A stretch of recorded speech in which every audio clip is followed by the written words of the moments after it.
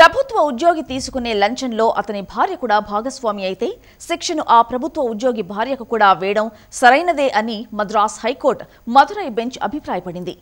ఆదాయానికి మించిన ఆస్తులు కలిగి ఉన్న కేసులో భర్తతో పాటు భార్యకు కూడా శిక్ష వేస్తూ కింది కోర్టు ఇచ్చిన తీర్పును కొట్టివేయడానికి తిరస్కరించింది కోర్టు. పంతొమ్మిది వందల తొంభై రెండు జనవరి ఒకటి నుంచి పంతొమ్మిది వందల తొంభై ఆరు డిసెంబర్ ముప్పై ఒకటి వరకు ఆదాయానికి మించి ఆరు పాయింట్ ఏడు ఏడు లక్షలు అధికంగా కలిగి ఉన్నారంటూ పోలీస్ సబ్ ఇన్స్పెక్టర్ శక్తివేల్పై కేసు నమోదైంది. తిరుచిలోని directorate of vigilance and anti corruption పోలీసులు ఆయనతో పాటు లంచం సొమ్ము తీసుకునేందుకు ఆయన భార్య దైవనాయకిపైన కేసు పెట్టారు. కేసు విచారణలో ఉండగానే శక్తివేలు మరణించారు. విచారణ జరిపిన అవినీతి నిరోధక ప్రత్యేక కోర్టు దైవనాయికి ఏడాది జైలు శిక్ష వెయ్యి రూపాయల జరిమానా విధిస్తూ రెండు వేల పదిహేడులో తీర్పునిచ్చింది.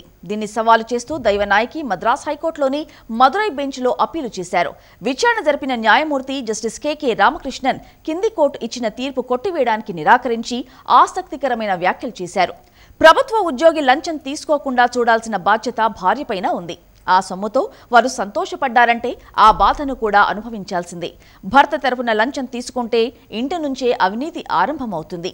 అవినీతిలో ఇల్లాలకి కూడా భాగస్వామ్యం ఉంటే ఇక అక్రమాలకు అంతం ఉండదు. అక్రమ సంపాదన కారణంగా దైవనాయకి జీవితం పూల పాన్పులా మారింది.